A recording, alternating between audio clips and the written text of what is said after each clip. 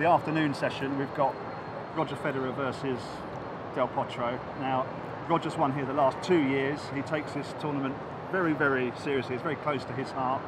Uh, Del Potro, of course, we know has got this big booming forehand. How are you looking at this matchup? I mean, fascinating because obviously Roger's had the better of uh, Juan Martin for most of the year, um, but obviously, you know, Juan Martin won in Basel um, 7-6 in the third, so he, he has that bit of confidence coming into this match that he didn't have before. I think that is slightly significant, although I do think the surface really does suit Roger. I feel as though his slice on this surface is deadly. He, he didn't serve his best in his previous match. He'll certainly be looking to try and sort of improve that, and will need to improve it against Juan Martin. Um, but as you say, I think that you know Roger takes this event seriously. I think he you know he feels as though he's the best player indoors. So I am expecting him to come through, but obviously so much on the line at, at this particular tournament that there's always potential for, for Del Potro to come through. He's been the final before. You know he knows his way around the tennis court pretty well.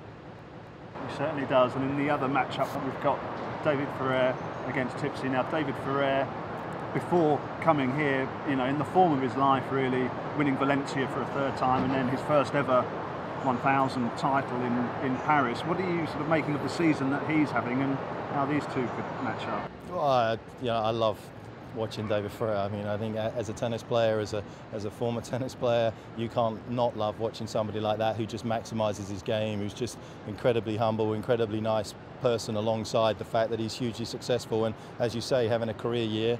Um, has played some wonderful tennis already here, um, and I do expect him obviously to get through against Tipsarevic. You know, with the way that obviously Janko's been feeling really more than anything else. You know, David's not going to give him any points out there. He's going to make him work hard. He's got an opportunity to get himself through to the semis, David. So uh, yeah, yeah, as I say, I mean, it, it could well go to three if Janko's had another sort of 48 hours to feel better, but you expect David to win.